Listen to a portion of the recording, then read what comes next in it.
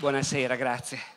Eh, ecco, stasera ho dimenticato l'orologio, quindi sono costretto a fare questa cosa di mettere il cellulare per avere l'ora. Dunque, noi questa sera parliamo di una pagina di storia italiana che tutti conoscono e su cui però c'è una quantità di leggende, di deformazioni, di miti che circolano, tale che io sicuramente stasera dirò delle cose che magari stupiranno qualcuno, eh, dirò delle cose che magari andranno contro a quello che molti pensano essere il senso comune. Eh, sono consapevole che è perfettamente inutile fare adesso questa premessa, però la faccio lo stesso le cose che dirò saranno fatti, cercheranno di non essere interpretazioni, saranno fatti. Se vi stupiranno tenete conto che appunto sono fatti accertati tutti quelli che vi racconterò questa sera. L'altro pezzo forse inutile della premessa è che noi stasera racconteremo un'azione partigiana, la rete di ragazzi che l'ha organizzata, non racconteremo se non rapidamente alla fine la rappresaglia tedesca e l'eccidio delle fosse ardeatine. Tuttavia i due eventi sono legati inestricabilmente nella storia. Noi stasera raccontiamo un pezzetto di una storia complessa che va ben al di là. La storia comincia a Roma alla fine degli anni 30, primi anni 40. A Roma viveva allora un ragazzo che si chiamava Mario Fiorentini. Era studente di matematica alla Sapienza del resto da grande diventerà un matematico famoso, professore universitario di geometria analitica, mi pare, o qualcosa del genere. Però Mario Fiorentini, che studiava matematica, aveva tanti interessi culturali, come molti giovani di allora. La Roma degli ultimi anni del fascismo è uno strano posto dove c'è, specialmente fra i giovani, una vita culturale molto intensa. Ci sono cineforum, c'è teatro d'avanguardia. E Mario Fiorentini, che di mestiere faceva mate- lo studente di matematica, però si interessava di tantissime cose. Il regista Carlo Lizzani si ricorderà poi di averlo conosciuto da ragazzo, lo incontrava al cineforum per l'appunto. E dice, dice Carlo Lizzani, sì, Mario era un ragazzo con i capelli lunghi, con l'aria romantica, pallido, un poeta. Mario si occupava anche di teatro, aveva fondato una piccola compagnia di dilettanti che organizzava spettacoli teatrali nelle borgate. Sto parlando del 1940, 41, 42. Fra i ragazzi che facevano teatro insieme a lui ce n'era uno più giovane e Mario dice era bellissimo, si chiamava Vittorio Gassman. Però Mario Fiorentini aveva un piccolo problema rispetto a tanti dei suoi amici studenti romani in quegli anni. Suo padre era ebreo. La famiglia non era praticante. Fino al 38 non ci aveva mai pensato Mario a questo fatto insignificante che suo papà era ebreo. Viceversa, nel 1938, con le leggi razziali, la cosa di colpo si scopre che è abbastanza importante. Quando escono le leggi razziali, Mario Fiorentini ha uno scatto di orgoglio e, e decide che questa cosa a cui non ha mai pensato in vita sua, cioè di essere figlio di un ebreo, invece la vuole accettare in pieno. Decide di farsi ebreo. Va dal rabbino capo di Roma e gli spiega tutto. Il rabbino capo di Roma ascolta questo ragazzo entusiasta e poi gli dice, ma senta, eh, lei lo sa che c'è un piccolo problema? Dice, no, eh, lei non è stato ancora circonciso, vero? A questo punto Mario Fiorentini racconterà poi che ha detto, beh, magari ci penso ancora un attimo. Eh, la cosa poi passa in cavalleria, nel frattempo è scoppiata la guerra e, e cade il fascismo e c'è l'8 settembre e Roma è occupata dai tedeschi. E pochi giorni dopo l'8 settembre i tedeschi cominciano a rastrellare e rastrellare ebrei vanno anche a casa di Mario Fiorentini, arrestano suo padre e sua madre. È uno strano momento in cui la dominazione tedesca non è ancora ben organizzata. Ci sono un sacco di racconti a Roma in quei mesi di gente che viene arrestata e riesce a scappare in modo rocambolesco, passando dalla finestra del bagno, della caserma. Ecco, anche i genitori di Mario Fiorentini riescono a scappare, si nascondono. Come tanti altri passeranno nascosti quei lunghi mesi fino alla liberazione di Roma. È chiaro che in casa non si può più stare comunque. Mario decide di unirsi ai partigiani. Entra nella resistenza, Lui ha 25 anni, entra nella resistenza insieme alla fidanzata Lucia, lei ne ha 19 di anni. E per molto tempo vivono nascosti, clandestini. Vivono soprattutto, dormono nella cantina di un palazzone sul Celio, vicino al Colosseo, in via Marco Aurelio, palazzone moderno, dove il portiere è un compagno. Il portiere è un omino di mezza età, piccolo di statura, magrissimo, con una figlia novizia in convento, però lui è comunista, si chiama Duilio Grigioni e lascia entrare i partigiani a dormire nella cantina, nella carbonaia del palazzo. Dormono lì a lungo, la cantina è umida, è una carbonaia, è inverno, alla fine Lucia si ammala. Lucia si ammala abbastanza gravemente e allora lei e il fidanzato Mario decidono di correre il rischio. Per qualche giorno tornano ad abitare nell'appartamento deserto dei genitori di Mario. Nell'appartamento hanno messo i sigilli, ma loro sanno come entrare. Entrano, non lo sa nessuno, per qualche giorno stanno lì, in questo alloggio, in via Capo Le Case, nel pieno centro di Roma. Sono i primi di marzo del 44. Roma è occupata dai tedeschi da sei mesi. E un pomeriggio, verso le due, Mario si affaccia alla finestra e sente il rumore di una colonna tedesca che arriva marciando da Piazza di Spagna e si sta avvicinando.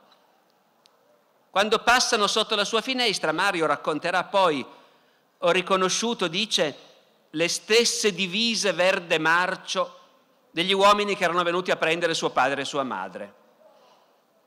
È un'intera compagnia, sono più di 150 uomini in assetto di guerra, con i mitra a tracolla, i nastri delle munizioni incrociati sul petto, bombe a mano alla cintura. La colonna si snoda per più di 100 metri, attraversa via Capo le Case e si allontana verso via del Tritone. Mario si sporge dalla finestra e vede che la colonna attraversa via del Tritone, arriva all'imbocco del traforo, parlo per i romani, penso che ce ne sia più di uno, è arrivata all'imbocco del traforo, gira a sinistra e imbocca una parallela di via del Tritone. La parallela si chiama via Rasella.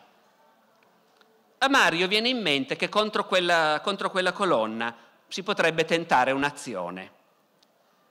Nei giorni seguenti ne parla con i compagni. Mario Fiorentini comanda un GAP, che a dirlo così sembra chissà cosa, vuol dire 4-5 ragazzi organizzati da una gerarchia del Partito Comunista. Ne parla con i suoi, ne parla con i compagni di un altro GAP, altri 4 o 5 ragazzi. Il capo è anche lì un altro studente, stavolta di medicina, si chiama Rosario Bentivegna, Sassà per gli amici, perché è di origine siciliana, anche se è nato a Roma. Rosario ha 21 anni, appunto studia medicina, ha una famiglia di, di patrioti, ha un bisnonno che era colonnello di Garibaldi. Mario Fiorentini racconta di questa colonna che attraversa cantando canzoni tedesche il centro di Roma e dice io sono stato a vedere per due o tre giorni, passa tutti i giorni alla stessa ora. Gli altri dicono va bene, veniamo a vedere. Il 18 marzo si incontrano nella zona e aspettano. La colonna non passa. Il giorno dopo si incontrano di nuovo, il 19 marzo. Stanno lì ad aspettare. La colonna non passa. Mario Fiorentini ci rimane malissimo. Dice, ma io ho visto per parecchi giorni, passavano, ve lo giuro, sempre alla stessa ora. Va bene, veniamo ancora domani. Il 20 sono lì a vedere, 20 marzo 44. La colonna passa. Dall'angolo della strada Sassà Bentivegna li vede passare cantando in tedesco nel cuore di Roma e mormora agli altri, ma questi bisogna attaccarli. Ecco, qui è bene che ci fermiamo a, a raccontare un po' cos'era Roma in quei mesi. Perché uno dei grandi equivoci che si sono creati intorno all'attacco di Via Rasella consiste nel considerarlo come un episodio isolato, senza contesto, come se una bomba fosse scoppiata all'improvviso nel bel mezzo di una città pacifica. Roma è una città che è stata conquistata dai tedeschi dopo l'8 settembre, con tre giorni di combattimenti contro l'esercito italiano e contro gruppi di civili armati che hanno sostenuto l'esercito. Tre giorni di combattimenti che hanno fatto centinaia di morti e feriti, con le donne dei quartieri che portavano da bere e da mangiare ai soldati italiani che stavano combattendo contro i tedeschi. Roma è una città dove la resistenza è attivissima e dove ci sono attentati ogni giorno. Muoiono soldati tedeschi continuamente. Al processo per la strage delle fosse ardeatine, il comandante della Gestapo di Roma, Kappler, testimonierà nel Tevere spesso venivano lasciati cadaveri di soldati tedeschi. Il comandante delle SS a Roma, il colonnello Dolman, al processo testimonierà Roma è stata la capitale che ci ha dato più filo da torcere.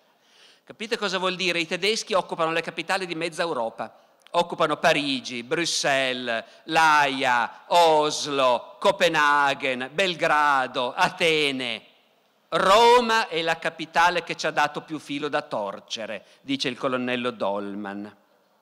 Il maresciallo Kesselring, comandante dell'esercito tedesco in Italia, al suo processo ha testimoniato Roma era diventata per noi una città esplosiva e per noi era un grave problema. Kesselring dice, per noi Roma era fondamentale, erano le retrovie del fronte, mandavamo lì le truppe a riposarsi e a un certo punto è diventato impossibile mandare lì i soldati in licenza a riposarsi e riprendere un po' di forze per il fronte. Perché il fronte è lì, a pochissima distanza da Roma. Gli americani sono sbarcati ad Anzio e a Nettuno, e quando sono sbarcati sembrava che in un attimo dovessero arrivare a Roma, poi invece non ci sono arrivati. I tedeschi li hanno fermati. I tedeschi uno può pensare quello che vuole, ma la guerra la sapevano fare. Hanno fermato di netto lo sbarco americano, gli americani sono inchiodati sulle spiagge di Anzio, non si muovono più. Su un muro di Trastevere compare una scritta. Americani resistete, veniamo noi a liberarvi. Roma dunque è nelle retrovie del fronte ed è il centro nevralgico del fronte tedesco. Tutti i giorni per le consolari passano i convogli che vanno al fronte di Anzio. E perciò Roma è bombardata tutti i giorni. Gli americani la bombardano tutti i giorni, bombardano le ferrovie, le stazioni, ma le stazioni a Roma sono nel centro di Roma. Nei dieci giorni fra l'8 e il 18 marzo del 1944 quando, quando Mario Fiorentini e i suoi amici cominciano a pensare all'attacco di Via Rasella, i bombardamenti aerei americani, secondo una stima, qui devo mettere le mani avanti, cifre sicure non le ha nessuno, però circola questa stima, in quei dieci giorni di marzo i bombardamenti fanno 2.000 morti e 8.000 feriti a Roma.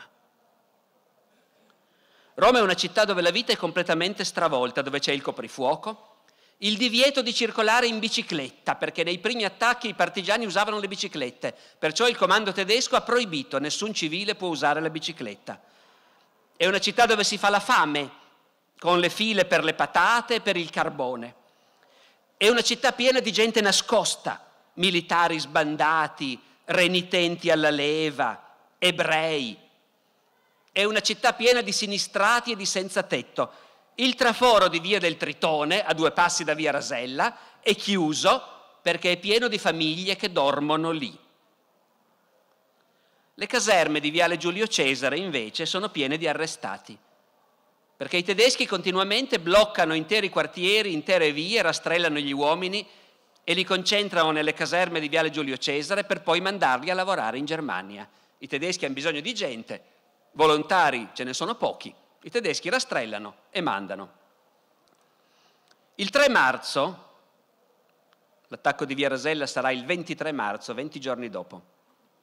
Il 3 marzo una donna di 37 anni che si chiama Teresa Gullace, madre di cinque figli e incinta, è davanti alla caserma di Viale Giulio Cesare con un pezzo di pane per suo marito che è stato rastrellato. Quando lo vede dietro le sbarre a una finestra, comincia a sgomitare per aprirsi la strada, finisce addosso a un soldato tedesco, il soldato tedesco le spara, la lascia morta lì. è la storia che poi è stata ricreata naturalmente da Rossellini per Anna Magnani nel film Roma città aperta. Quel pomeriggio i partigiani attaccano le caserme di Viale Giulio Cesare, rimane ucciso un fascista. Il giorno dopo, il 4, i partigiani ammazzano il commissario di polizia di Centocelle. Il 5 marzo viene ucciso un ufficiale tedesco sulla via Casilina. I tedeschi ovviamente rispondono, arrestano, torturano, fucilano. Centocelle viene rastrellato dopo l'omicidio del, del commissario. Il rastrellamento fa 25 morti. Il 7 marzo 10 partigiani arrestati da tempo vengono fucilati al Forte Bravetta. Il giorno dopo, 8 marzo, una colonna di camion tedeschi diretti al fronte di Anzio viene attaccata sulla Tuscolana, otto soldati tedeschi uccisi. Il 9, il 9, marzo salta in aria un deposito di carburante della Wehrmacht in via Claudia. Il 10 marzo un corteo fascista che sfila in via Tomacelli è attaccato dal gruppo di Rosario Bentivegna, quattro morti. E voi vedete, ho citato soltanto episodi del marzo 44, delle settimane che precedono l'attacco di Via Rasella. È fondamentale sottolineare una cosa, che è controintuitiva, perciò la sottolineo invitandovi a darmi fiducia, è un fatto accertato. I tedeschi uccidono, fucilano, arrestano, ma mai e poi mai c'è stata una rappresaglia diretta. Mai è successo che per un tedesco morto il comando tedesco dicesse siccome è morto un tedesco adesso fuciliamo degli italiani. Mai un manifesto tedesco ha detto abbiamo avuto dei morti e perciò ammazzeremo degli ostaggi. Mario Fiorentini e Sassà Bentivegna comandano dei GAP. Cosa sono questi GAP? Questi gruppi d'azione patriottica. Sono organizzati dal Partito Comunista, il che vuol dire che quasi tutti i ragazzi che ne fanno parte si sentono comunisti. Fra l'altro, varrebbe la pena di riflettere sull'importanza dell'educazione, specialmente nelle dittature. Questi hanno tutti passato tutta la vita nella scuola fascista e sono tutti diventati comunisti. Il comandante dei GAP si chiama Antonello Trombadori, sarà poi un dirigente comunista importante, in quel momento ha 27 anni. Per noi oggi uno di 27 anni è un ragazzino. Antonello Trombadori è un ufficiale dei bersaglieri che ha fatto la guerra e che quindi è perfettamente in grado di comandare questa rete clandestina in Roma, salvo che in quel momento è in prigione, l'hanno arrestato e sfuggirà per miracolo all'eccidio delle fosse ardeatine. Siccome Antonello Trombadori è in prigione, comanda i GAP un ragazzo un po' più giovane, che si chiama Carlo Salinari, nome di battaglia Spartaco. Carlo Salinari ha 25 anni e di lavoro fa l'assistente universitario di letteratura italiana alla Sapienza. Beh, dopo la guerra sarà un critico letterario famoso, marxista, ortodosso e anche un po' rigido, ma un importante critico letterario. Sarà, come sono strani i destini, il preside di lettere alla Sapienza di Roma nel 77, al momento del movimento studentesco del 77. Ma qui siamo molto prima, di anni ne ha solo 25 e comanda i GAP di Roma. I GAP sono una struttura gerarchica. Mario Fiorentini e Rosario Bentivegna vanno a parlare col loro capo, Spartaco, Carlo Salinari. Gli vanno a parlare di questa colonna tedesca che tutti i giorni passa da Piazza di Spagna a Via del Tritone a Via Rasella. E gli dicono che loro vorrebbero attaccarla. Salinari non è convinto. La colonna tedesca è troppo forte, 150 uomini. Loro sono quattro gatti. Salinari ha paura che finisca malissimo. Ma la struttura è gerarchica, anche Salinari ha qualcuno sopra di sé. Carlo Salinari risponde direttamente al comando militare del Partito Comunista e quindi a Giorgio Amendola, che anche lui dopo la guerra sarà un importante dirigente comunista che in tanti di noi hanno, ricordano, che in quel momento e che è anche naturalmente Giorgio Amendola il figlio di quel Giovanni Amendola, deputato liberale, che un po' di anni prima i fascisti avevano ammazzato a bastonate. Amendola è il rappresentante del Partito Comunista nella giunta militare del CLN. La giunta militare del Comitato di Liberazione Nazionale è l'organismo che dirige la resistenza in tutta Italia e in cui sono rappresentati i sei partiti antifascisti, la DC, i socialisti, i comunisti, il Partito d'Azione, i liberali, i repubblicani, se non vado errato. Amendola rappresenta i comunisti, gli altri rappresentanti sono tutti personaggi di spicco, ve ne cito solo uno perché l'abbiamo conosciuto tutti. Nella giunta militare del CLN il rappresentante del Partito Socialista si chiama Sandro Pertini. Dunque Salinari racconta al suo superiore gerarchico, Amendola, la proposta dei ragazzi dei GAP, attaccare questa colonna tedesca. La colonna tedesca l'ha vista anche Amendola e l'ha vista per un motivo particolare. Ve lo racconto perché è veramente difficile immaginare cos'è la Roma in, di quel momento. È un luogo di contraddizioni incredibili. Giorgio Amendola è un dirigente comunista, clandestino, ricercatissimo, ma passa spesso da Piazza di Spagna e quindi ha incrociato la colonna tedesca, perché lui spesso ha bisogno di andare al palazzo di propaganda Fide, che è lì a due passi. Il palazzo di propaganda appartiene al Vaticano, perciò gode di extraterritorialità, e dentro il palazzo di propaganda vive, protetto dal Vaticano, un altro importante uomo politico antifascista, si chiama Alcide De Gasperi, ed è il capo della DC. Amendola comunista ha spesso bisogno di discutere con De Gasperi democristiano, perciò se ne va a piedi palazzo, a trovarlo al palazzo di propaganda. Passa da Piazza di Spagna, ha visto passare la colonna tedesca e Amendola ai ragazzi dice sì, attaccatela. Amendola ha delle ragioni precise per dire questo. La giunta militare del CLN è in contatto col comando alleato, col comando anglo-americano e il comando alleato chiede attacchi a Roma, il più possibile, dentro la città. Perché i tedeschi hanno dichiarato che Roma è città aperta, è una formula che conosciamo tutti per via del film. Cosa vuol dire città aperta? Roma città aperta vuol dire noi che siamo da questa parte, la città però non la usiamo, non ci stiamo dentro, non la difenderemo. È una cosa che si fa fra avversari civili quando si vuole evitare a una città il peggio delle distruzioni della guerra. Peccato che i tedeschi hanno dichiarato Roma città aperta, ma in realtà la usano. Roma è piena di comandi e centri di comunicazione e depositi tedeschi. E, come dicevo prima, i convogli della Wehrmacht passano tutti i giorni sulla Tuscolana e sulla Casilina diretti al fronte di Anzio. Perciò il comando anglo-americano chiede ai partigiani, chiede alla giunta militare del CLN attacchi contro i tedeschi in Roma. In Italia c'è una vecchia polemica che io mi ricordo fin da quando ero ragazzino, ma in fondo la resistenza non, cambiato, non, ha cambiato niente dal punto di vista militare. Per carità, la guerra gli americani la vincevano lo stesso anche senza la resistenza. Però il generale Mark Clark, comandante della quinta armata americana, che il 4 giugno entrerà a Roma, ha dichiarato per i miei uomini era importantissimo sapere che alle spalle dei tedeschi i partigiani erano attivi e che i tedeschi non potevano stare mai tranquilli, né di giorno né di notte. La giunta militare del CLN è tutta d'accordo. Gli alleati lo chiedono e va bene così, bisogna fare degli attacchi dentro Roma. C'è solo un po' di gelosia per il fatto che gli unici che hanno una struttura militare efficiente sono i comunisti. In particolare questa cosa rode un po' a Pertini. Ve lo ricordate come era fatto Pertini?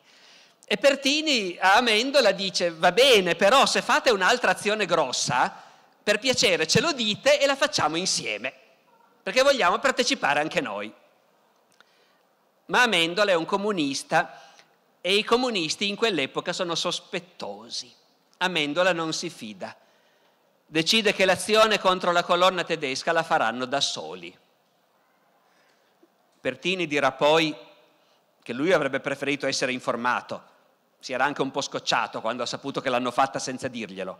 Però dirà Pertini, l'azione l'operò totalmente approvata quando ne venni a conoscenza. E dunque i GAP cominciano a studiare l'attacco contro la colonna tedesca. Uno oggi dice i GAP e sembra di dire chissà cosa. In realtà fanno capo a un partito clandestino, fuori legge da vent'anni, che esiste a malapena. Roma è una città di due milioni di abitanti allora. Gli iscritti al Partito Comunista sono a malapena 3.000. I ragazzi dei GAP sono partigiani improvvisati, senza nessuna esperienza a corto di armi, a corto di munizioni. Quelle poche armi e munizioni che hanno, le hanno perché a Roma esiste anche una resistenza militare monarchica organizzata da ufficiali del Regio Esercito che rispondono al governo di Badoglio e del re al sud e che hanno accesso ai depositi del Regio Esercito. Solo gli ufficiali dell'esercito riescono a procurare armi esplosivi, e ovviamente fornirle ai partigiani comunisti, qualche discussione c'è, però poi alla fine le danno, perché gli ufficiali hanno le armi e gli esplosivi, ma i comunisti li usano. A capo, lo sapete, della, della giunta militare badogliana, diciamo così, monarchica, fino a pochi mesi prima c'era il colonnello Montezemolo, pluridecorato di guerra, che poi morirà alle fosse ardeatine. Quel momento l'hanno arrestato, è in prigione, ma la giunta militare continua a funzionare e fornisce armi anche ai comunisti. Certo, sono quelle che sono, sono armi di seco- italiane di seconda mano, funzionano fino a un certo punto, gli esplosivi spesso non esplodono, le armi si inceppano. Un po' di tempo prima sei ragazzi dei GAP, tutti armati di mitra, hanno attaccato dei camion tedeschi a Tor de Schiavi e tutti e sei i mitra si sono inceppati. Sono male armati quindi e oltre a, questo, oltre a questo non fanno una bella vita. Vivono in clandestinità, che non è una cosa eccitante. Vivere in clandestinità vuol dire annoiarsi, passare giornate intere chiusi in una cantina. Vuol dire fare la fame, perché non è che puoi tornare dalla mamma a mangiare, ogni tanto sì, in gran segreto, ma ci sono giornate in cui non sai dove mangerai. Mangi in trattoria quando l'oste è un compagno e allora ti fa mangiare gratis. Oppure mangi in trattoria quando l'oste non è un compagno, ma il cameriere sì. E allora il cameriere di nascosto dal padrone ti riempie il piatto due volte di patate in modo che poi esci sazio. Vuol dire una fatica bestiale perché i tedeschi, l'abbiamo detto, hanno proibito anche solo di circolare in bicicletta. I tram funzionano quando possono e quindi chi è in clandestinità si fa ogni giorno chilometri e chilometri a piedi. E poi e poi si dorme in cantina, appunto. Si porta per mesi la stessa camicia, lo stesso vestito, gli stessi calzini. C'è una testimonianza di una ragazza che fa parte di questi GAP. Fa parte del GAP di Sassà Bentivegna e della sua fidanzata, e dopo si sposeranno anche. Si chiama Carla Capponi. Carla Capponi poi in seguito racconta, eravamo tutti magrissimi, pallidi, gli abiti cominciavano a caderci addosso. Le scarpe avevano la suola già più volte rappezzata e c'era chi portava ancora in pieno inverno zoccoli di legno. Anche dormire in cantina non è divertente, specialmente per le donne. Carla Capponi, che appunto dopo la guerra sposerà Rosario Bentivegna e, e sarà deputato comunista a Roma, Carla Capponi in quel momento è una ragazza di 25 anni è una signorina di buona famiglia. Un altro ragazzo dei Gap, Franco Calamandrei, figlio di Piero Calamandrei, se la ricorda, Carla Capponi, signorina di buona famiglia, che parlava con la R Moscia e si grattava i pidocchi presi nella cantina di Duilio. Carla ha 25 anni, è una signorina di buona famiglia, anzi sarebbe la contessina Capponi, ma la famiglia è decaduta, il papà è morto senza lasciare un soldo. Carla non ha finito gli studi, si è impiegata, fa la dattilografa e del passato è rimasto solo un grande appartamento. È per via di questo grande appartamento che Carla ha cominciato a fare politica, perché dopo la caduta di Mussolini, dopo il 25 luglio, voi capite, Roma è in ebollizione. I partiti politici di colpo sono legalizzati, dappertutto ci sono incontri, riunioni, discussioni. E qualche amico dice a Carla, ma voi che avete un alloggio così grande, non è che possiamo usarlo per fare le riunioni? Fra questi conoscenti che chiedono di usare l'alloggio dei capponi per fare le riunioni politiche, c'è anche un comunista. Si chiama Gioacchino Gesmundo, insegna storia e filosofia al liceo Cavour a Roma, anche lui morirà alle Fosse Ardeatine.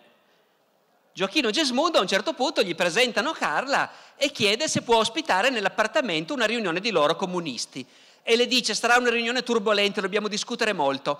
Eh, com'è che possiamo fare in modo che i vicini non sentano le discussioni? E Carla, che è una signorina di buona famiglia, dice ma io so suonare il pianoforte.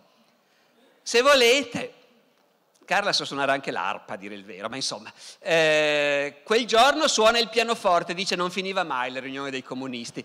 Ho suonato tutti i notturni di Chopin. Eh, poi finalmente la riunione finisce e il professor Gesmundo le chiede se la prossima volta vuol venire anche lei alla riunione. Così Carla diventa comunista e lei ci ha lasciato la testimonianza di cosa voleva dire dormire in cantina, sulla terra battuta, in mezzo ai mucchi di carbone. Lei è una signorina di buona famiglia, dice, pensa, mia mamma mi aveva dato una trapunta per andare nella cantina, una di quelle trapunte matrimoniali. Io me la arrotolavo tutta intorno. Poi ho visto che gli altri dormivano per terra. Allora ho detto, vabbè dai, la stendiamo per terra e ci mettiamo tutti sopra. Dice Carla, anche questo dormire come i cuccioli, uno vicino all'altro, ti dà una certa consolazione, ma c'era molto disagio. Essere una donna non è facile comunque, siamo in Italia nel 1944 e anche i comunisti sono italiani del 1944, non sono mica diversi dagli altri. Quando un ragazzo dei GAP che si chiama Valentino Gerratana, e sarà anche lui poi un deputato comunista, ma in quel momento è un ragazzo, si presenta a Giorgio Amendola con la sua fidanzata e gli dice che lei vorrebbe unirsi anche lei ai partigiani. E Giorgio Amendola dice benissimo, così potrà rammendarti i calzini la sera. Ovviamente queste ragazze si ribellano, loro vogliono essere alla pari degli uomini e non è facile. Per dimostrare che lei è alla pari di qualunque uomo, Carla Capponi un giorno su un tram sfila la pistola a un milite fascista di nascosto e se la porta via.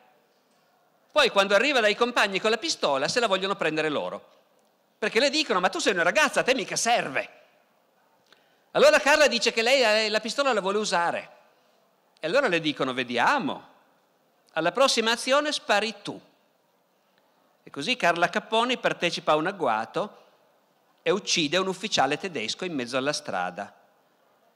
Poi ha raccontato che era così scioccata che scappando si è dimenticata di mettere la pistola nella borsetta e scappava per la strada a Roma con la pistola in mano.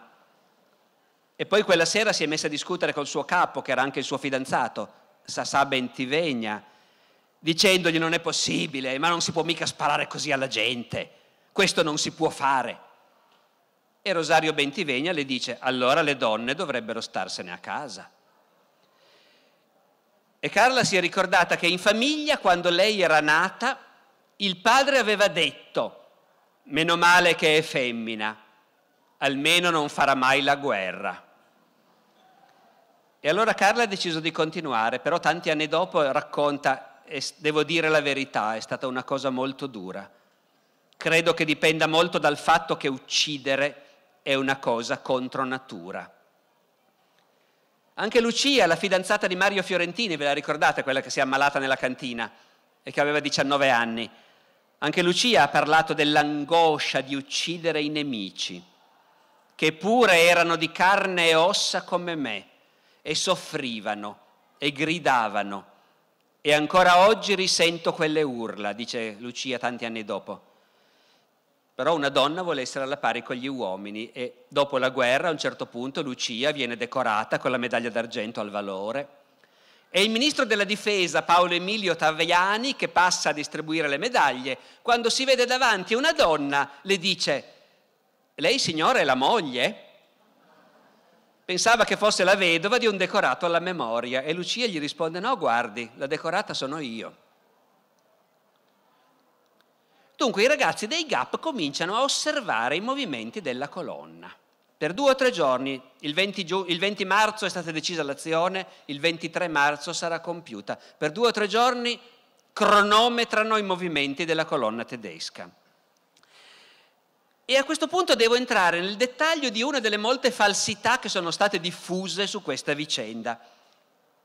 È inutile che ve lo dica che l'attentato di Via Rasella è una pagina su cui la memoria italiana si è spaccata, perché noi siamo uno strano paese. E allora una di queste falsità è quella secondo cui la colonna sarebbe stata composta da anziani, innocui, poliziotti non militari, per di più dell'Alto Adige, cioè mezzo italiani. Questa è l'unica cosa vera. Erano dell'Alto Adige, che era stato annesso alla Germania nazista. La compagnia che viene attaccata è una compagnia di un battaglione del reggimento di polizia militare Bozen, cioè Bolzano.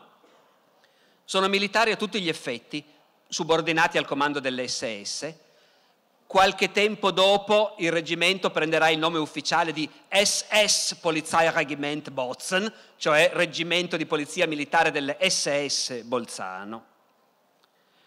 Non sono giovanissimi, certo non sono anziani innocui. Il più giovane aveva 26 anni, il più anziano ne ha 43. È un battaglione che è impegnato nei rastrellamenti per le strade di Roma, quei rastrellamenti per cui si bloccano le uscite di una via e si mandano in Germania tutti quelli che stanno dentro. È un battaglione che è impegnato nella lotta contro i partigiani nei castelli romani. Dopo l'attentato di Via Rasella il battaglione sarà spostato in Piemonte a combattere i partigiani. Un altro battaglione dello stesso reggimento Bozen è stato responsabile di crimini di guerra e eccidi in Cadore.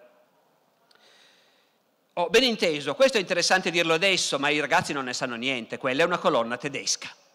È una colonna tedesca che passa per il centro di Roma cantando canzoni tedesche. Questo l'hanno confermato tutti i superstiti del reparto. Gli ufficiali ci avevano comandato, cantate. Tornano in caserma dal poligono di Tor di Quinto, dove si sono esercitati all'uso delle armi da guerra.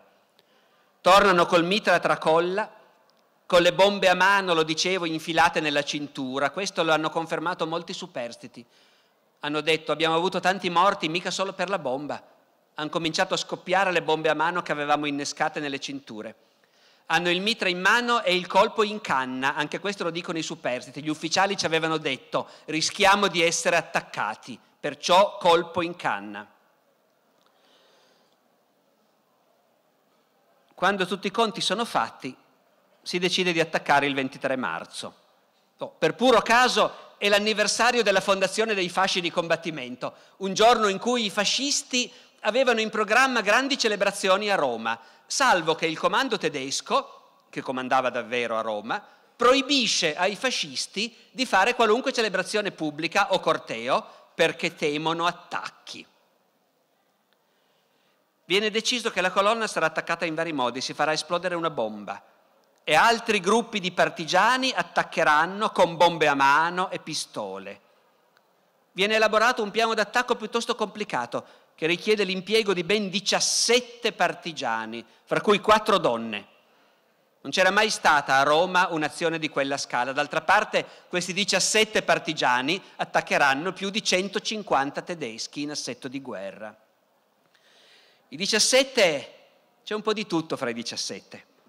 Abbiamo detto, c'è Carlo Salinari, il capo, che sarà ordinario di letteratura italiana, c'è Franco Calamandrei, che sarà senatore, c'è Carla Capponi, che sarà deputato, c'è Mario Fiorentini, che sarà ordinario di geometria, c'è Giulio Cortini, che in futuro sarà ordinario di fisica nucleare, ma ci sono anche un portinaio, un tassista, un muratore, un impiegato,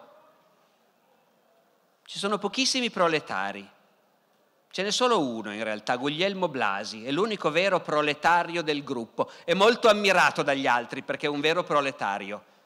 Eh, gli altri non sanno che è pregiudicato per furto e che qualche tempo dopo si farà beccare mentre sta rapinando una casa e verrà arrestato dalla polizia e a quel punto confesserà e tradirà tutti.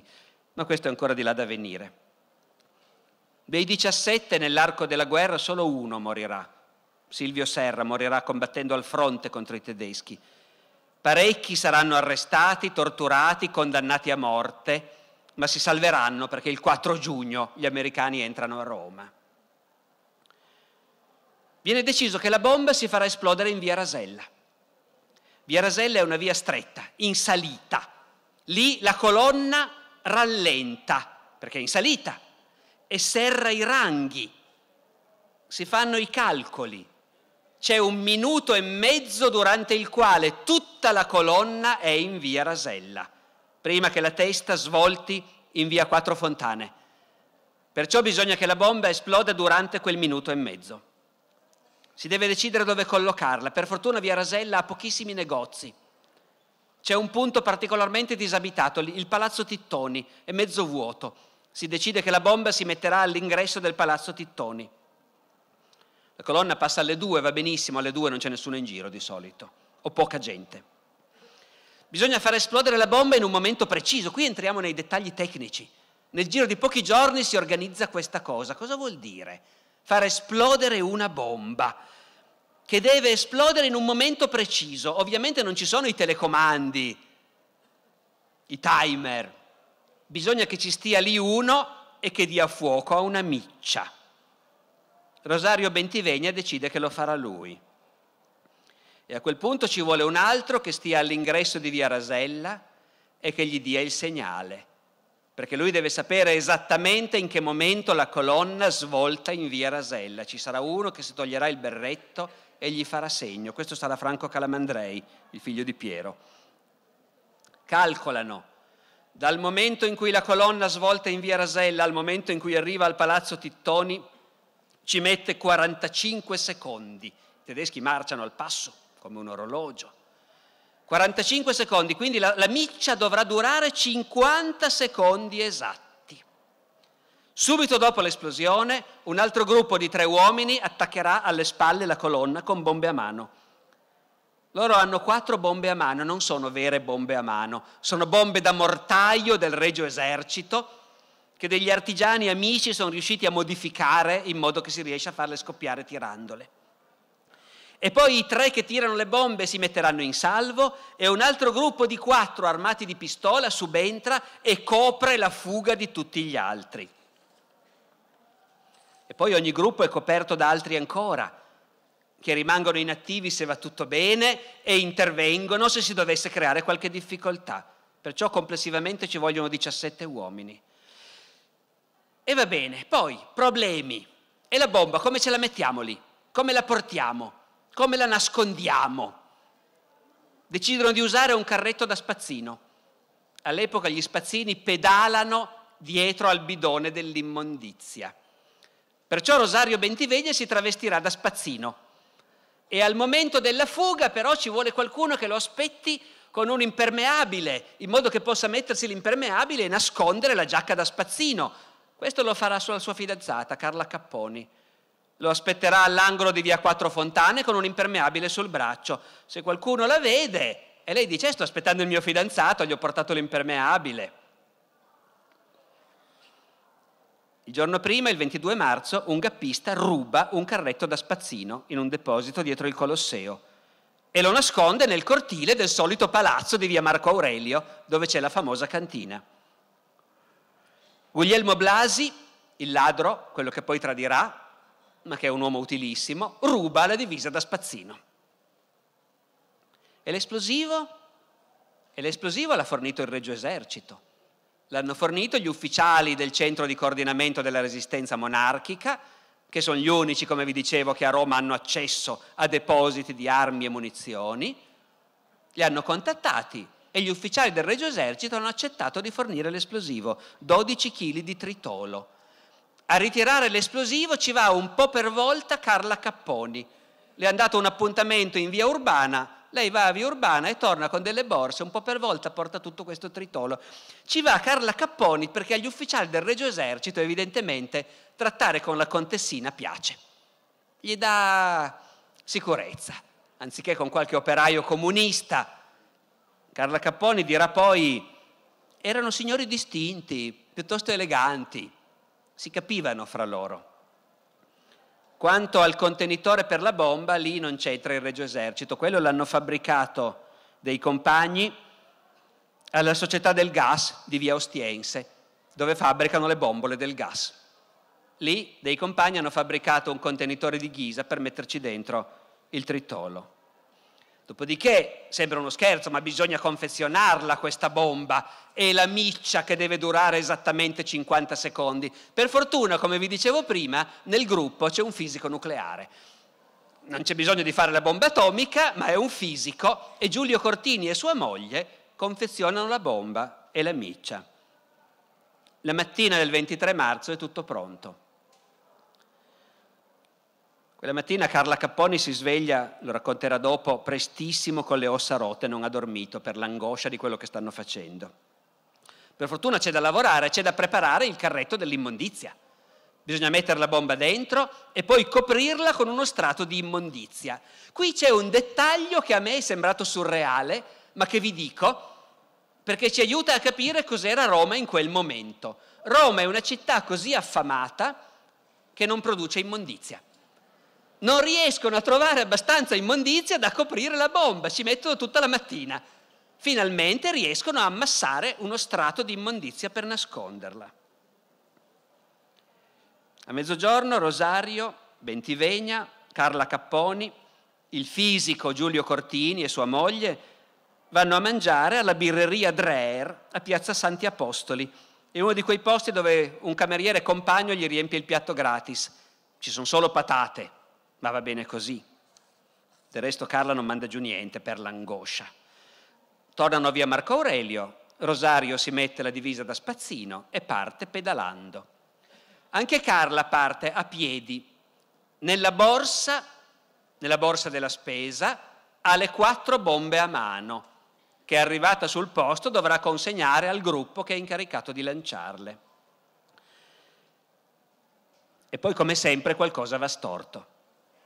La prima cosa che va storta è che Rosario scopre che pedalare dietro a questo carretto dell'immondizia così pesante è una cosa faticosissima. Lui è uno studente di medicina, una roba così non l'ha mai fatta. Su e giù per le strade di Roma. Fa una fatica che non si era mai immaginato. E poi naturalmente le cose che possono andare storte sono tante e c'è la legge di Murphy, se qualcosa può andare storto, andrà storto. Lui è un falso spazzino. Al Quirinale incontra due veri spazzini i quali gli dicono, oh, e che ce fai da ste parti? E che te frega, risponde lui. Scuserete il mio romanesco piemontese, ma insomma, gli dice, c'ho un carico di cemento. Gli altri si mettono a ridere, sono sicuri che è un collega che nel tempo libero fa la borsa nera. E gli fanno, ma piantala, facce vedere i prosciutti. E sono lì che fanno per aprire il bidone. Rosario li manda il diavolo, tira dritto, pedala, per fortuna quelli si mettono a ridere. Arriva in via Rasella davanti al palazzo Tittoni e si ferma lì. Alle due sono tutti pronti, 17 ragazzi, ciascuno al suo posto, con le bombe, le pistole. Rosario sa che quando gli fanno il segnale deve dar fuoco alla miccia. Sono le due, tedeschi sono sempre passati alle due, quel giorno non passano. Sono le due e mezza, non sono passati. Rosario è lì travestito da spazzino, che non sa bene cosa fare, cosa si fa? Fuma, ma ha solo tre sigarette in tutto. Anche questo è un dettaglio, cosa voleva dire quell'epoca. E con una di quelle sigarette deve accendere la miccia. Alla fine decide di mettere tutto il, decide di mettere tutto il tabacco dentro una pipa e tenersela lì in bocca. Dopo un po' passa uno, vede questo spazzino che sta lì appoggiato al muro e non fa niente, e gli fa, oh guarda che arriva l'ispettore. Rosario si, si preoccupa. Già. Cosa fa uno spazzino? Spazza la strada. Rosario prende la scopa e comincia a spazzare la strada. Essendo uno studente di medicina si accorge subito che non è capace di spazzare la strada. È peggio di prima, se lo vedono capiscono subito c'è qualcosa che non va, perciò smette rimane lì a fischiettare. Dopo un po' vede uno dei compagni appostati in fondo alla via che si muove, dice il segnale, arrivano, accende la pipa. Non arriva nessuno. Intanto si è bruciato un altro po' di quel poco tabacco che si era portato. Intanto Carla ha lasciato le bombe a mano al compagno che deve farsene carico ed è andata ad appostarsi in un posto che c'è ancora oggi e che tutti i romani conoscono. L'ingresso del messaggero in via del Tritone, dove ci sono le bacheche con l'ultimo numero del giornale e la gente va lì a leggersi il giornale. Posto perfetto per stare lì ad aspettare. Carla si piazza davanti alle bacheche, legge il giornale. Sul giornale c'è scritto che oggi a Napoli c'è l'eruzione del Vesuvio. Carla non lo sapeva, la cosa la appassiona, si legge tutto l'articolo, poi guarda l'ora. Si fa tardi e non succede niente, c'è qualcosa che non va. All'ingresso del messaggero ci sono di guardia due poliziotti in borghese, i quali poliziotti in borghese vedono questa signorina carina, fra l'altro, che sta lì e dopo un po' vanno e attaccano discorso. E lei dice che sta aspettando il fidanzato, ma i due non mollano. Allora Carla dopo un po' li molla lì, risale via Rasella, passando davanti a Rosario vestito da spazzino che sta sempre lì a fischiettare. Rosario la vede passare, dice è il segnale, accende la pipa. Non succede niente, rispegne la pipa, il tabacco è quasi finito a questo punto. Alle 4 meno un quarto uno dei compagni passa vicino a Rosario e gli dice, oh, se alle 4 non sono arrivati, prendi il carrettino e andiamo via. Intanto Carla è arrivata davanti a Palazzo Barberini. Lì ci sono dei bambini che giocano al pallone. Carla si preoccupa, ha paura che rimangano coinvolti i bambini nell'esplosione. Perciò cosa può fare una signorina di buona famiglia? Va dai bambini e gli dice, qui non si può giocare, andate a casa a fare i compiti. I bambini si allontanano un po' e si rimettono a giocare a via del traforo. Lì c'è un altro gappista appostato che li vede, anche lui si preoccupa che i bambini si facciano male, allora va lì, ma siccome non è una signorina di buona famiglia, sa come si fa, prende il pallone e lo calcia via lontanissimo, oltre via del Tritone. I ragazzini gli fanno figlio della mignotta e corrono dietro al pallone e si allontanano. Intanto Carla è ferma all'angolo di Quattro Fontane. I due poliziotti in borghese del messaggero la vedono che si è di nuovo fermata. Vanno fin lì e riattaccano discorso. Non si è mai capito se sospettano qualcosa o se hanno solo voglia di chiacchierare con questa bella ragazza. Sono due pappagalli, come si diceva allora. E Carla dice: No, aspetto il fidanzato, ma è in ritardo.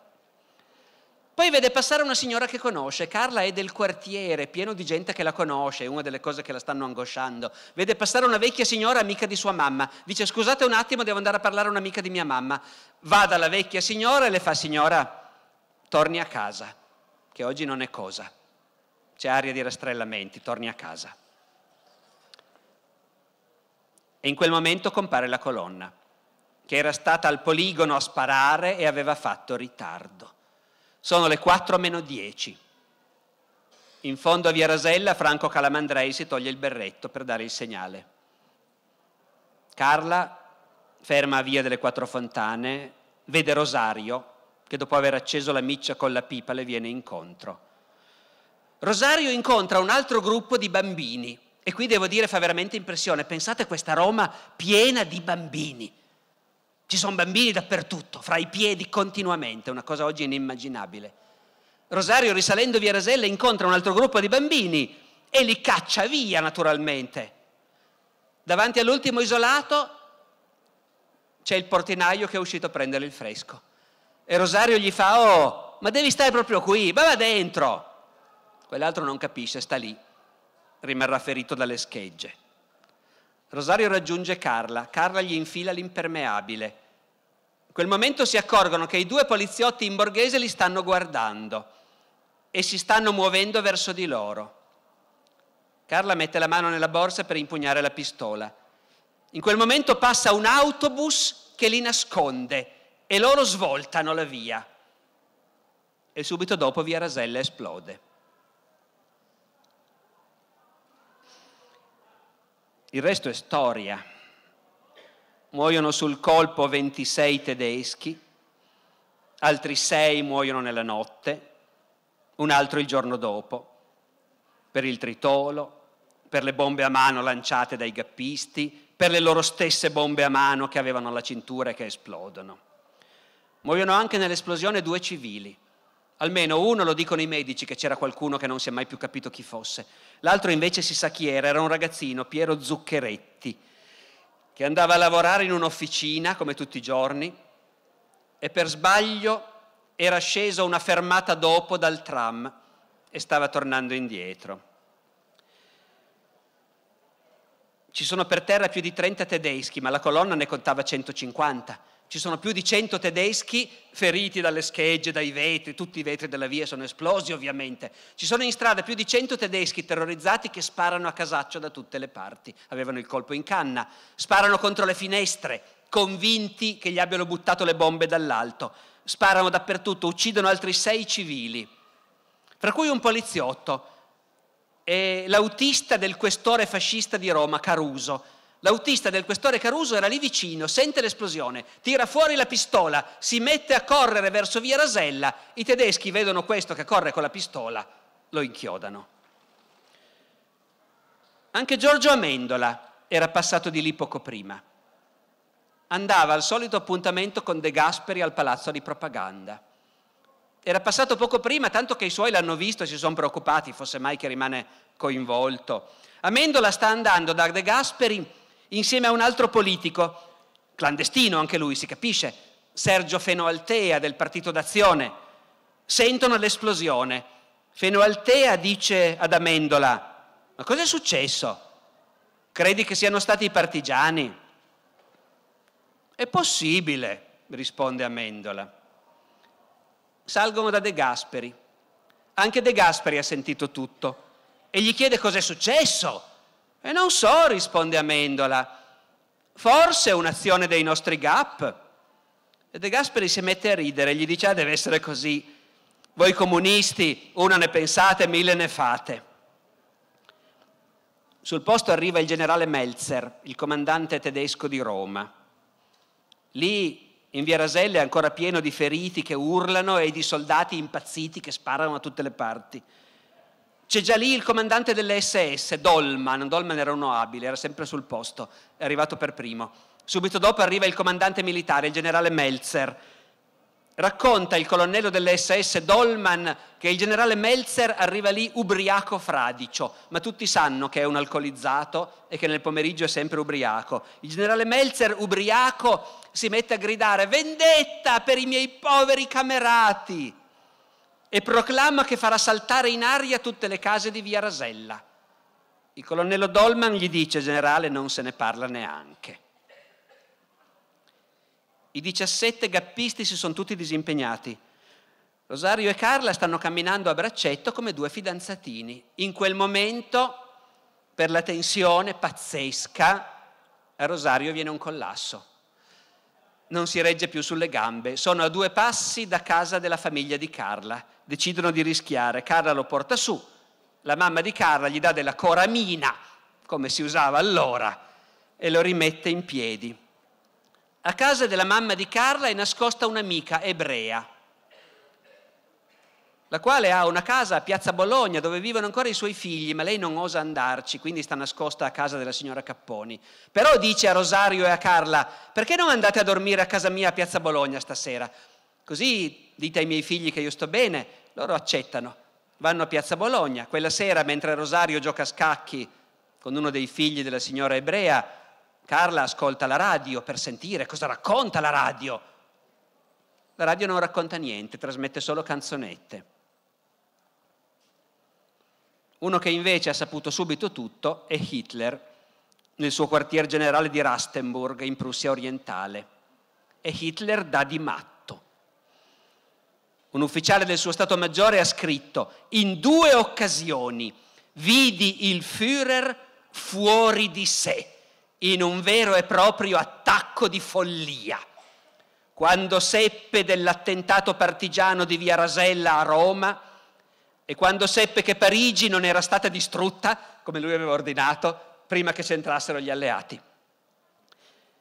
Quella sera si discute convulsamente la rappresaglia fra il quartier generale di Hitler, il comando delle SS a Roma, Dolman, il comando della Wehrmacht in Italia, Kesselring, il comando della Gestapo, Kappler.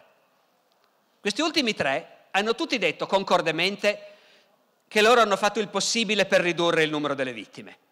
Era Hitler che aveva perso la testa e voleva far ammazzare 50 italiani per ogni tedesco. Noi, dicono Kappler, Dolman, Kessering, gli abbiamo detto che era una pazzia, che non se ne parlava neanche. Alla fine siamo riusciti a abbassare la cifra. Alle 11 di sera Hitler si è calmato. 10 italiani fucilati per ogni tedesco. Però l'esecuzione dovrà avvenire entro 24 ore. Kappler, comandante della Gestapo a Roma, e il suo braccio destro, che si chiama Pribke, passano la notte a fare l'elenco dei prigionieri da fucilare, con la collaborazione del questore Caruso, che gli trova i detenuti che mancano. Al mattino i morti sono 32 e loro hanno 320 nomi. Poi arriva la notizia che è morto un altro in ospedale, quindi i morti sono 33, allora bisogna aggiungerne 10. I tedeschi sono precisi. Poi i tedeschi non sono così tanto precisi, perché quel giorno, a mezzogiorno, cominciano a portare via da Regina Celi e da Via Tasso i condannati. Le esecuzioni alle fosse ardeatine cominciano intorno all'una e mezza del pomeriggio e durano fino a sera. L'attentato è stato alle 4 del giorno prima. E Pribke e Kappler, che sono lì che contano gli ingressi alle fosse ardeatine, a un certo punto si rendono conto che non gli hanno portato 330 uomini, ma 335. Per sbaglio ce ne sono cinque di più. Che si fa? Kapler e Prib che decidono, già che ci siamo, fuciliamo anche questi. Un superstite del battaglione Botzen attaccato a Via Rasella, il furiere Hans Plack, ha dichiarato al processo Kapler, virgolette, la rappresaglia alle fosse ardeatine fu fatta nel massimo rispetto della legge alla fine rimasero soltanto ebrei, comunisti e altra gente così, nessun innocente. A Roma quel giorno, mentre i tedeschi fucilano 335 persone alle fosse ardeatine, a Roma quel giorno 24 marzo tutti parlano dell'attentato di Via Rasella, anche se la radio non ne ha parlato. Molti sono spaventati, trovano che è una cosa troppo grossa, non era il caso. Però tutti parlano di quello, ma nessuno sa niente della rappresaglia che è stata compiuta in segreto. Solo il giorno dopo, il 25 marzo a mezzogiorno, esce il messaggero con un comunicato del comando tedesco che parla della vile imboscata eseguita da elementi criminali, comunisti badogliani, su incitamento anglo-americano e annuncia che il comando tedesco per rappresaglia ha deciso che per ogni tedesco morto dieci comunisti badogliani saranno fucilati. Il comunicato conclude, quest'ordine è già stato eseguito. Se vivessimo in un altro paese non ci sarebbe da aggiungere altro, ma noi viviamo in Italia, dove i fatti contano meno dell'ideologia, dove ognuno si reinventa la storia come piace a lui, e perciò non possiamo non concludere ricordando l'incredibile leggenda che è stata costruita intorno ai fatti di Via Rasella, per screditare i ragazzi che avevano attaccato i tedeschi. E la leggenda secondo cui i nazisti, prima di compiere la rappresaglia, avrebbero chiesto che i responsabili si presentassero, garantendo che in quel caso gli ostaggi non sarebbero stati fucilati. Questa idea, secondo cui i gappisti erano dei criminali e i martiri delle Ardeatine erano morti non per colpa loro, ma al loro posto, questa idea ha una genesi che è stata studiata e risale all'osservatore romano.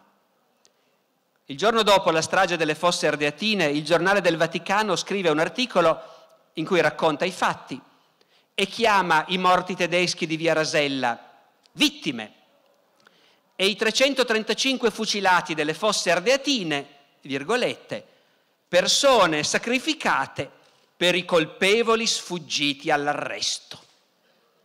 Che ci sia anche qualcun altro colpevole magari di averli fucilati, il giornale del Vaticano non, non lo dice.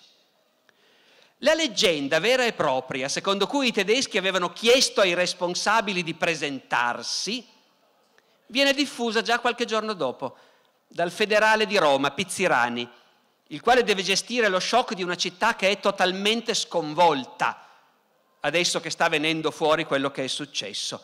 Perciò il federale Pizzirani mette fuori la voce che se si fossero presentati i colpevoli la rappresaglia non ci sarebbe stata.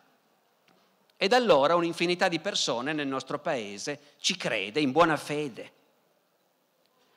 Il fatto, che, il fatto è, scusate, che i tedeschi non si sognarono neppure di pubblicare un manifesto in cui chiedevano ai partigiani di presentarsi e neanche di avvisare che ci sarebbe stata una rappresaglia.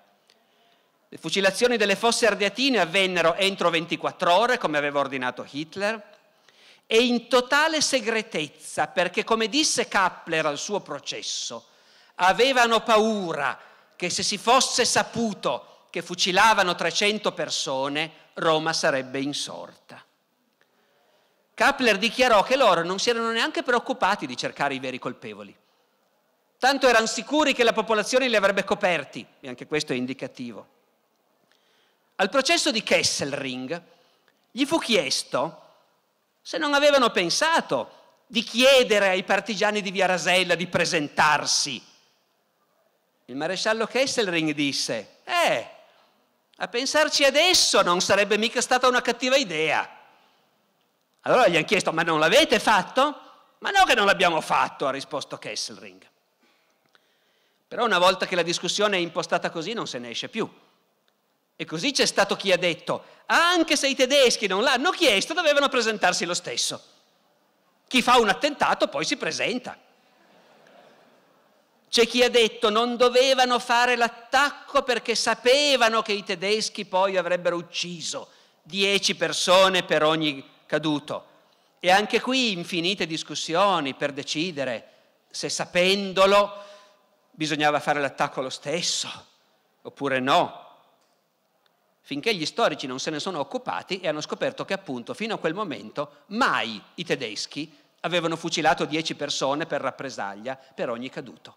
A Roma c'erano stati innumerevoli attentati, moltissimi tedeschi uccisi e mai c'era stata una rappresaglia in quelle proporzioni. Mai nessun manifesto l'aveva minacciato. L'unica cosa che i tedeschi avevano sempre detto e ripetuto e che i gappisti sapevano, perché quello sì stava scritto sui manifesti, era chi attacca i tedeschi sarà punito con la morte. Il risultato è surreale perché i nostri alleati lo Stato italiano legittimo allora combatteva al fianco degli anglo-americani e uno dei 17 ragazzi di Via Rasella morirà poi combattendo al fronte in divisa italiana nell'esercito italiano, combattendo contro i tedeschi. I nostri alleati sono rimasti stupefatti e ammirati dell'attacco di Via Rasella. Il generale Alexander, comandante di tutte le truppe alleate nel Mediterraneo, disse che lui aveva cominciato a rispettare gli italiani quando aveva scoperto che Roma era, virgolette, una città che ha osato sfidare in pieno centro un battaglione tedesco armato. Sarà per questo nuovo rispetto per gli italiani, sarà più probabilmente perché il giorno dopo via Rasella i tedeschi smettono di far passare i loro convogli dalle consolari e evacuano a tutti gli effetti Roma, sarà per questo che Roma che fino al 23 marzo era bombardata dagli americani ogni giorno, dal 23 marzo per due mesi non viene più bombardata. Però in Italia molta gente ha preferito pensare che l'attacco di Via Rasella è stato un delitto e i ragazzi che l'hanno fatto sono dei criminali. Ed è qualcosa che ci insegna molto sul paese che siamo. Grazie.